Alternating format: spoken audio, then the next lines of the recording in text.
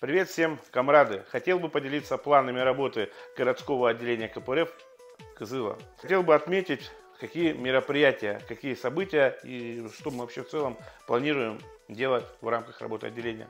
Это создание э, предвыборного штаба по выборам президента, по выборам Верховных Урал, создание э, городских отделений Всероссийского женского движения «Надежда России», а также организации «Дети войны» именно в городском формате.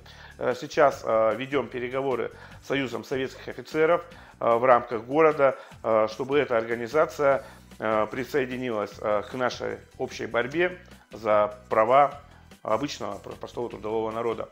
На самом деле много еще мероприятий связано в том числе в планах запланированы встречи депутатов города Кызыла на территории округов, график мы дополнительно, конечно, будем публиковать. Э, за 2024 год мы обязательно постараемся обойти с нашими депутатами э, каждый избирательный округа по Кызылу.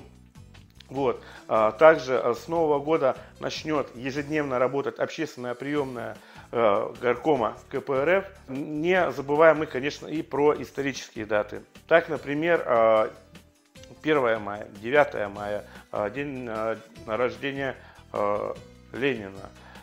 Ну, на самом деле, очень много событий. Впереди ждет нас патриотический слет молодежи, который пройдет на территории Республики Тыва.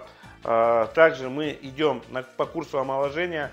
Так, городским отделением запланировано увеличение численности более чем в два раза. Будем стремиться к этой численности, тем более народная поддержка у нас, у нас есть.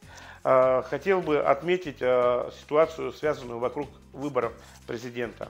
А, здесь мы будем проводить работу, чтобы доказать, что именно наш кандидат, именно наша программа людей поддерживать и партию, и нашего кандидата. А теперь хотел бы вам показать ту, тот комплексный план, ту программу действий, которую мы планируем. Вот. Здесь более 20 а, страниц плана, как а, и календарный, но очень, на самом деле очень много, и в форматах а, видеосюжета это будет слишком долго. Вот.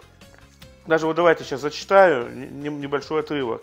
Общественно-массовые мероприятия к Дню студента. Стоит отметить, стоит отметить наших студентов, отстаивать их права, интересы, прежде всего на повышение стипендий не все достойны получают стипендию в ВИАХ. Ну, в общем, давайте так вот покажу еще. Ну, много, много, много, много, много всего. Вот. А, наверное, о планах на этом я подвожу красную черту коммунистическую. А хотел бы прежде всего поздравить а, всех жителей города Кызыла, Республики Тыва в целом, с наступающим Новым годом, Хотел бы пожелать крепкого здоровья э, всем, чтобы у вас в семье все было хорошо и семейный очаг вас грел. С наступающим Новым годом! Не болейте!